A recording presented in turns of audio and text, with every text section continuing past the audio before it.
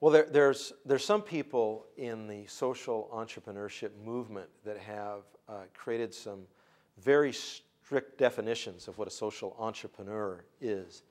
And they're people who address uh, the marginalized and the disenfranchised. Uh, they start at a local level and then scale it to a, usually a global level. It works on the systemic causes and tends to be a complete solution.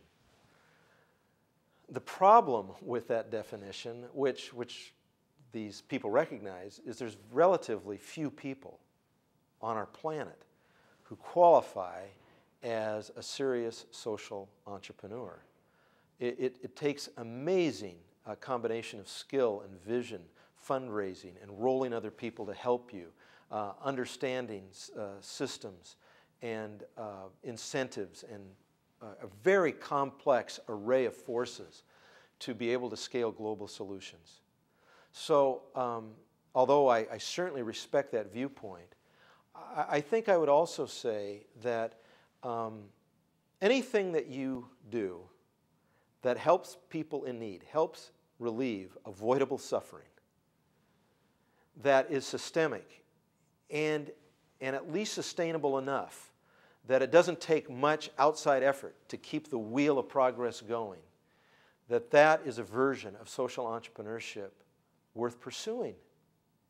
So uh, there, there's a famous little coffee shop in Philadelphia that has adopted other coffee shops in developing nations around the world.